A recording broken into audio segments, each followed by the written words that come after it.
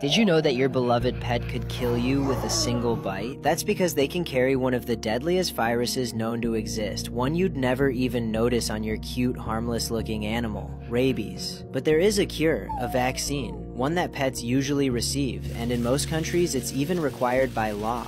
Some animals slip through without it, and for the people they bite, the end can come quickly. It all starts so small a scratch, a bite, maybe just a lick on a small cut. You think nothing of it, but the rabies virus is already there, crawling silently through your nerves towards your brain. Days or weeks pass, and suddenly you feel unwell restless, feverish. Then the real horror begins. Your muscles spasm, your throat tightens, and you become terrified of water. Not just drinking it, but even seeing it. Once symptoms appear, it's too late. There's no medicine strong enough to save you then. The only way to survive is to act fast, right after the bite. Immediate wound cleaning, followed by a series of post-exposure vaccines can stop the virus before it reaches the brain. That's your only real chance. And remember, it's not just pets that carry rabies. Wild animals like bats, foxes, raccoons, skunks, and even monkeys can spread it too. A single bite from any of them could mean the difference between life and death.